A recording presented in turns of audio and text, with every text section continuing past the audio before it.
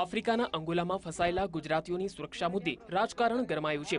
આણંદમાં કૃષિ મહોત્સવના ઉદ્ઘાટન પ્રસંગે મુખ્યમંત્રી નરેન્દ્ર મોદીએ કેન્દ્ર સરકારને આડે હાથ લીધી. તેમણે અંગોલામાં ફસાયેલા ચાલીસ ગુજરાતીઓનો મુદ્દો ઉઠાવી કેન્દ્ર સરકાર પર પ્રહારો કર્યા. મોદીએ આ મુદ્દે કેન્દ્ર સરકાર પાસે મદદ માંગી છે, પરંતુ હજુ સુધી કોઈ સંતોષકારક જવાબ મળ્યો નથી. મેં ગઈકાલથી દિલ્હીમાં પ્રધાનમંત્રીના કાર્યાલયના દરવાજા ખટખટાવું કે ભાઈ આ વિદેશ વિભાગ તમારી પાસે છે. આ અમારા છોકરાઓ ગુજરાતના, ત્યાં ફસાણા છે. એમની પર યાતનાઓ થઈ રહી છે.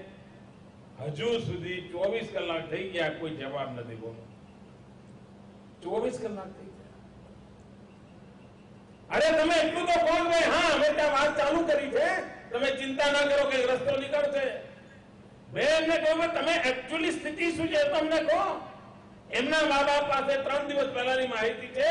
છેલ્લામાં છેલ્લી સ્થિતિની માહિતી તો આપો. દુનિયાના કોઈ દેશમાં આવું ન બને.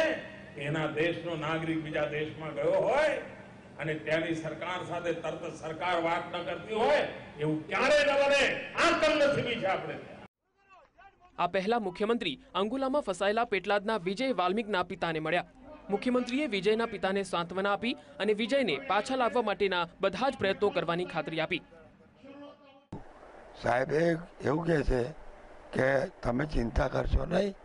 હું તમારી બધી વાત હું કરું છું અને બધી હું આગળ રજૂઆત કરીશ. બધી રીતનું હું કરીશ અને તમારો બાબો પાછો આવશે. આમ અંગોલામાં ફસાયેલા ગુજરાતીઓની સુરક્ષા મુદ્દે મુખ્યમંત્રીએ ચિંતા વ્યક્ત કરી કેન્દ્ર સરકાર પર માછલા ધોયા છે. ભાવેશ પટેલ વીટીવી આણંદ.